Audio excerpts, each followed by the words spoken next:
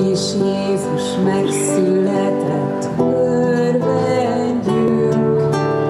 elküldötte ő fiát, Istenünk.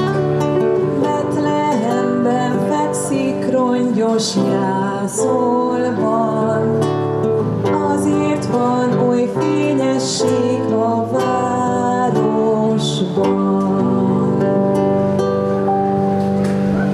A Hemi Band kíséretében mutatták be közös műsorukat a közönségnek a diákok és pedagógusai Dombováron. Ismét két helyi oktatási intézmény fogott össze, hogy színvonalas betlehemi játékkal meghitt ünnepi hangulatot varázsoljanak a közönség szívébe. Fenyőfa, sok cukor, ajándék minden, de az én szívemben nincs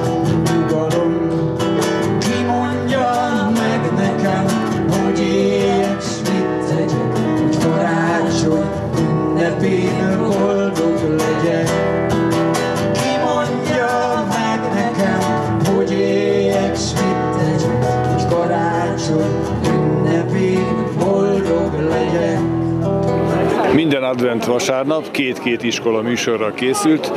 Ezen a vasárnapon a Magyar Máltai Szeretetszolgált Eszterházi Miklós Technikuma és a Szent Bencés Iskola Központ. És ma gyűjtjük meg a negyedik adventi gyertyát, tehát egy kis betlehemes műsor is lesz és zene. Rendezvénysorozat pedig én úgy gondolom, hogy fantasztikus, ha itt körbenézzünk, akkor tényleg egy ilyen igazi forgatag alakult ki, és így volt ez valamennyi adventi vasárnapon. A legnagyobb meglep- meg- meglepetésre az első vasárnap zógó eső mellett is több százan voltak itt, és én azt hiszem, hogy soha nem látott rendezvénysorozat alakult így ki Dombováron.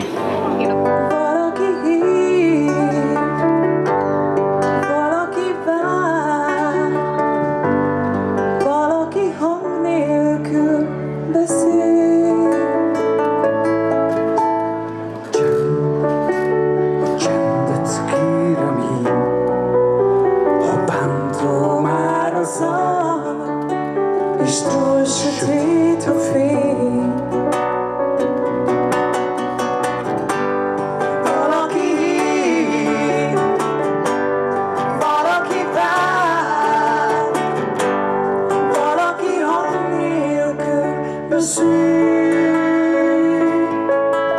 A negyedik adventi gyertya a szeretet gyertyája.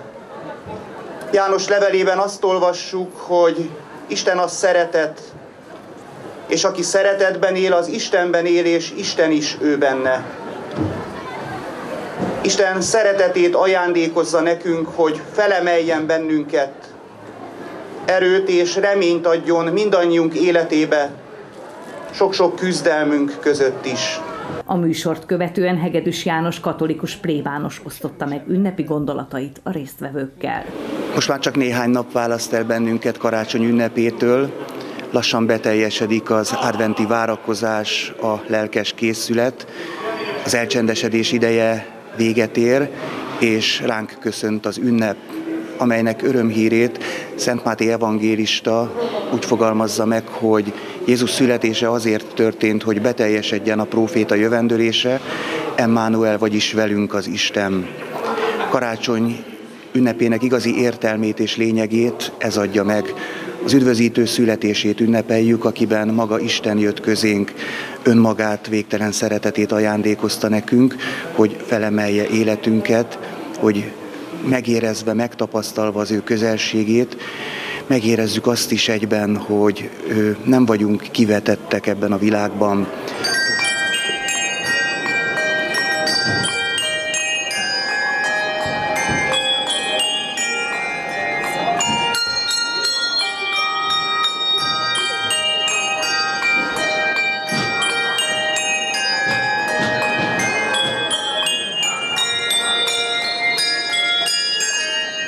A folytatásban a Stironte együttes adventi harangjátéka csendült fel a művelődési ház előtti téren.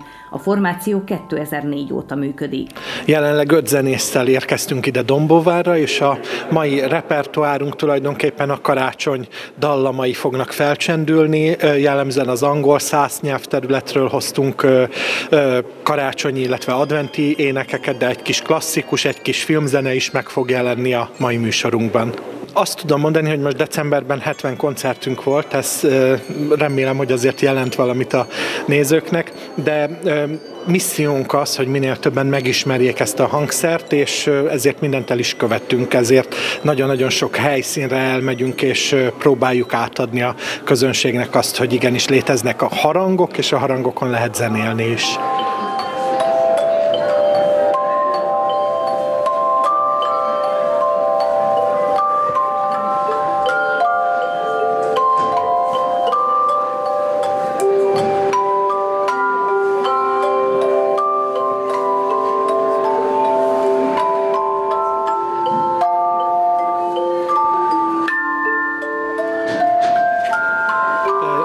Meglátásunk szerint meglepődnek az emberek, amikor mi elkezdünk egy-egy koncertet, hiszen nem tudják, hogy mire számítsanak. Nagyon-nagyon sokan még csak nem is láttak, nem is hallottak erről a műfajról, erről a hangszerről, és ezért meglepődnek, amikor kirakjuk a harangokat, és összefüggő dallam születik meg belőle, úgyhogy a tapasztalat az az, hogy, hogy, hogy kedveli a közönség a hangszerünket. Az adventi programokra egész decemberben nagy számú közönség gyűlt össze Dombováron. Nagy élmény, nagy élmény ez, és hála Istennek azt mondom, hogy végre valami történik Dombováron, tehát ezek a folyamatos műsorok, folyamatos, ami, ami itten karácsony előtt történik, ez egy csodálatos élmény.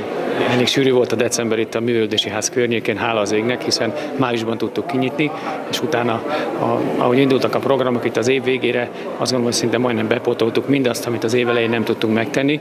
Különösen, hogy az előbb említettem a decemberi hónap, hiszen igyekeztünk decemberben a, a fiatalabb korosztálynak, a középkorúaknak és az időseknek is, hogy úgy mondjam, megfelelni olyan programokkal, ami, ami nekik a szívühez közel áll. Hát szinte nehéz is lenne felsorolni, mert gyakorlatilag nem csak a hétvégeken, a hétvégek természetesen kiemeltek voltak a péntek, szombat, vasárnapok, a advent első gyertyagyújtásától egészen a mai napig, aranyvasárnapig, de ekközben még, még, még hétközben is jutottak olyan programok, amivel ki tudtuk egészíteni. Gondolok itt például az idősek karácsonyára, ahol, ahol nagyon nagy szép számban jelentek meg az idősek, aztán a gyerekeknek volt program a művöldési házban, Fenyveség Gáborral és Deli Orsorával, ez már a Mikulással egybekötve. Azon kívül koncertek voltak, Mészáros Tamás lepte meg a, a vendégeket. A művelődési ház előtti téren felállított jégpálya népszerűsége is töretlen. Nem csak a helyi, de a környékbeli iskolákból is érkeznek korcsolyázni vágyó fiatalok, és a nagy közönség számára szintén mindennapos nyitvatartással üzemel a létesítmény.